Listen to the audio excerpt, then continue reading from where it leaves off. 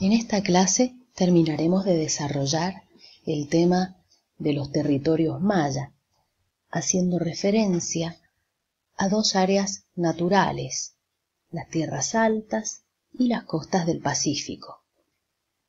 Comenzando por la zona de las tierras altas, se emplazan en el este y centro de Chiapas, en el estado eh, mexicano de Chiapas, el este y centro de Guatemala, y norte y centro del Salvador y sudoeste de Honduras.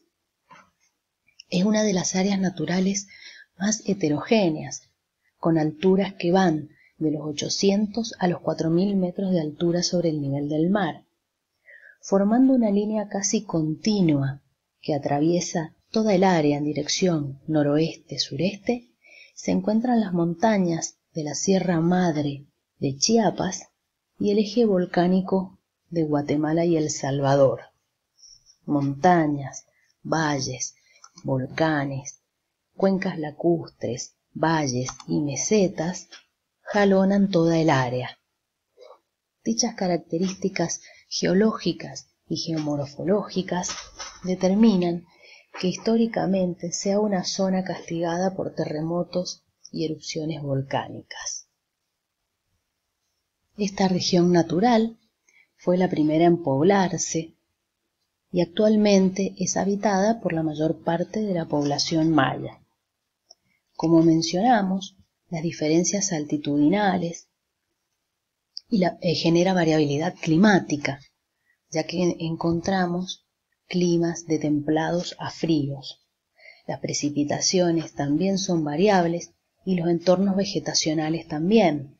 Encontramos desde bosques de coníferas en las zonas más altas y en los valles pequeños bosques de vegetación leñosa como pinos, abetos, cipreses y robles.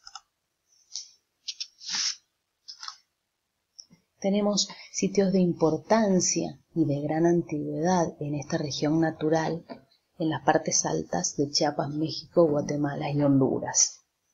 En el norte algunos de los más importantes son Chiapa de Corzo, Comitán, Salina de los Nueve Cerros, Nevaj, Chamá, Zacajut y El Portón.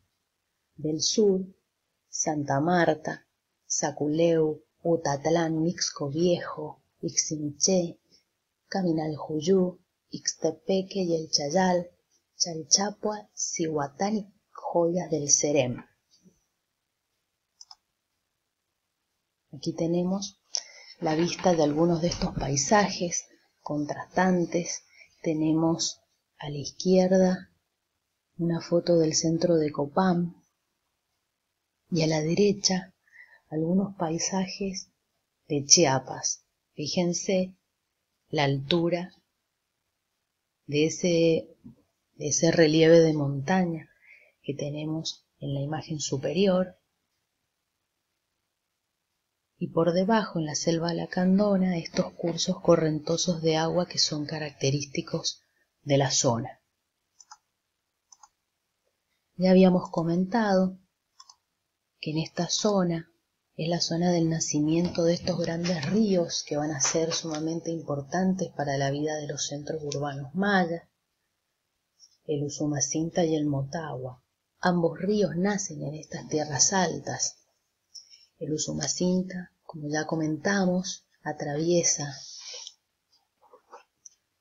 toda el área de las selvas centrales y desemboca en el Golfo de México, y el Motagua nace en, estas zonas altas de montaña, pero va a desembocar en el Golfo de Honduras. Los suelos son fértiles, como consecuencia fundamentalmente del arrastre de estas materias eh, volcánicas que enriquecen el sustrato. Y es importante referir que en esta zona se localizan muchos recursos vitales para el comercio de larga distancia, como la sal, por ejemplo, eh, y también eh, materias primas líticas como jade, jadeíta y serpentina de gran importancia ritual que conformaron parte de estas redes de comercio a larga distancia de bienes de lujo.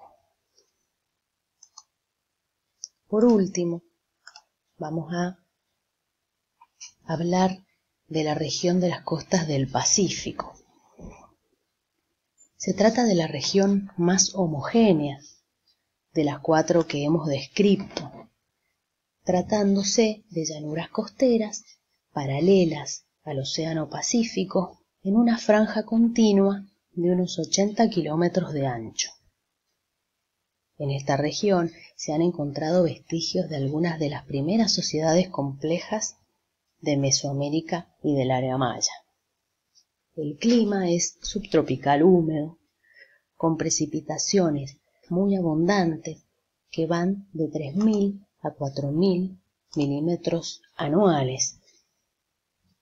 Como veníamos diciendo, los suelos aluviales son muy ricos y desde tiempos prehispánicos hasta la antigüedad es zona de plantación de cacao y algodón. Otros recursos importantes con los que contaron las sociedades del pasado fueron los recursos marítimos y la recolección de tubérculos silvestres. No muy lejos de la costa se emplazan bosques de algunas especies que no habíamos descrito como el guanacaste y el mahogany, que allí podemos ver en las fotografías, además de ceibas, laureles y palmeras.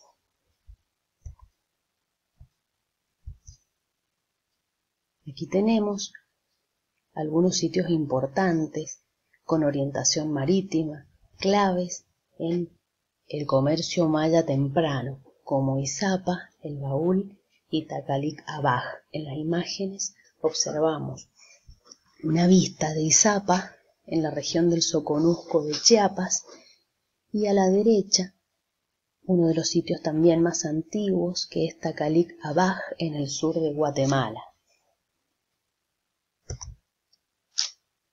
Por último, vamos a referirnos a la bibliografía que ustedes van a tener que manejar para el desarrollo de este tema y para la resolución de la práctica de aprendizaje número 4.